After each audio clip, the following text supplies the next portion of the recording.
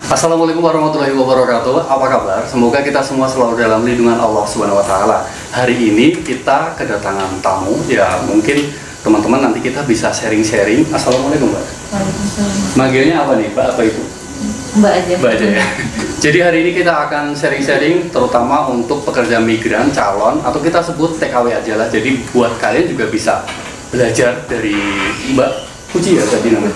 Uh, jadi kalian bisa belajar. Nanti kita akan sharing-sharing uh, seputar uh, proses berangkat ke Arab Saudi SPSK ya. Jadi kita lagi ada di BLK Al Royan buat teman-teman yang mungkin nanya ini resmi atau tidak, kemudian BLK-nya di mana, ya seperti yang kalian baca di belakang ini. Assalamualaikum Mbak. Jadi hari ini aku sharing-sharing aja ya. Ya. Sampean aslinya mana? Aslinya Jawa, Jawa. Tapi tinggalnya di Sulawesi. Oh, oke oke. Eh, kenapa kok pengen jadi TKW? Karena kebutuhan. Karena kebutuhan. sekolah. iya sih, kebanyakan emang kayak gitu sih. Tapi emang siap. Insya Allah siap. Sebelumnya udah pernah keluar negeri mungkin? Belum. Belum pernah. Berarti ini pertama kali. Pertama kali. Saya agak sedikit apa ya? eh, bisa dibilang kayak kan gitu. Kalau dengar eh, perempuan Indonesia harus merantau, misalkan ke Timur Tengah kayak gitu. Jadi, yo semoga sampai sukses betah di sana. Amin. Jadi kita sharing-sharing aja. Eh, yang pertama, kenapa kok sampean pilihnya Arab Saudi? Pengen tahu aja, kenapa enggak kayak Malaysia, Taiwan gitu? Yang proses resmi sekarang Saudi. Hmm. Oh, Inginnya ke Saudi. terus eh, apa dibiayai juga ya? Hmm, Soalnya kalau teman-teman yang ke misalkan Malaysia, Korea, Taiwan itu ya harus bayar sendiri sih. Iya.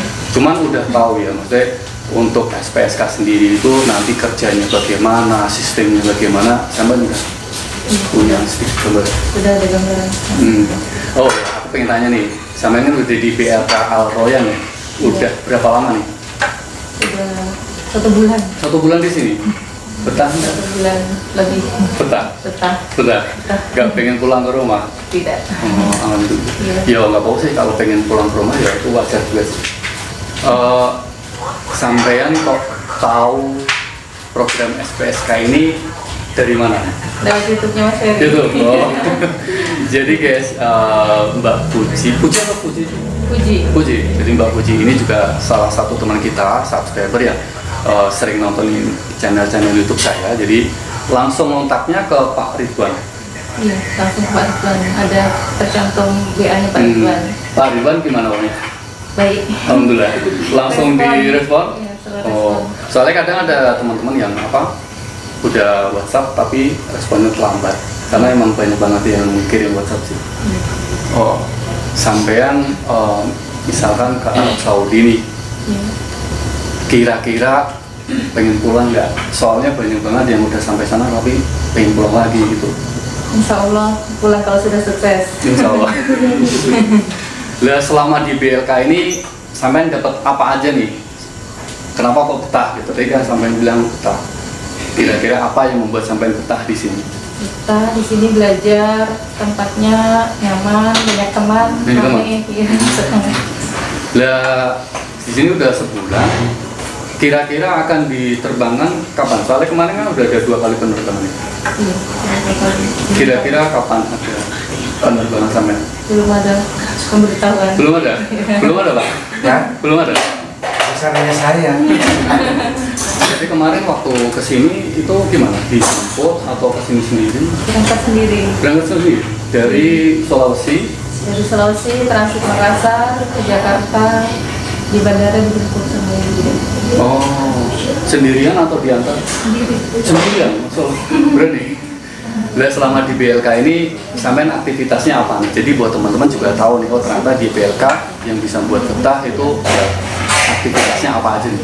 Aktivitasnya mulai bangun tidur, subuh, pagi sebelum belajar senam dulu, Senam. senam pagi, Iya. dan senam pagi jam 9 masuk belajar Belajarnya apa nih? belajar bahasa Arab. Bahasa Arab. Oh. sampai duhur eh, istirahat sholat makan siang nanti masuk lagi jam setengah dua Hmm. setengah dua sampai asar Hmm. baru istirahat lagi Istirahat. Malamnya enggak ada. malamnya tidak ada Kalau selain bahasa tadi apa? Belajarnya tentang apa? bahasa eh, praktek Perfect. Kalau boleh tahu, selama di sini gimana makannya? Gratis atau beli sendiri? makanya gratis Berapa kali sehari? tiga kali sehari Oh. Selama di sini dapat uang saku nggak sih? Jadi mungkin teman-teman ada yang nanya, mungkin selama pelatihan uang sakunya gimana gitu? Dapat nggak sih? yang satu ada Dari BLK atau sendiri? dari Iwida Ada. Oh bagus tuh. Jadi buat teman-teman juga lumayan sih dapat uang saku, dapat uang makan, uang dapat makan di sini ya. dapat makan Kira-kira pengajarnya bagaimana? pengajarnya baik-baik Baik-baik, alhamdulillah. Ibunya Hmm, kalau yang sampai tahu pengajar itu dari mana saja nih? Apakah ada langsung orang Arabnya? Cuma orang Indonesia yang bahasa Arab? orang sini aja Hmm. orang Indonesia Boleh saya tes bahasa Arabnya? Sedikit-sedikit. Assalamualaikum. Waalaikumsalam Kefal. Alhamdulillah tadi Enta en- ente isismu. Ismi Kujirahani Masya Allah. Kamu umur Umri talata wa talatin Sama. Hmm, mungkin agak sedikit uh, rumit ya. Less than five euro Saudi Arabia. agak rumit ya. Iya Iya ya udah. Ya paling ya ya paling ya sehari-hari aja sih misalnya seisi rumah, kemudian panggilan gitu aja sih. Enggak terlalu yang bahasa-bahasa. Oke Mbak Puji, terima kasih. Semoga sampai sukses di sana. Kangen boleh, tapi jangan terlalu. Ya kira-kira sampean yang apa ya? Gimana caranya itu bisa kontrol, menghibur diri sendiri gitu loh. Karena menghadapi orang di luar negeri di mana aja gitu. Itu nggak kayak orang di Indonesia aja sih gitu. Pokoknya semoga sampai sukses lah, sehat, dijaga kesehatannya. Kalau bisa sih selalu HP-HP-an biar nggak stres juga.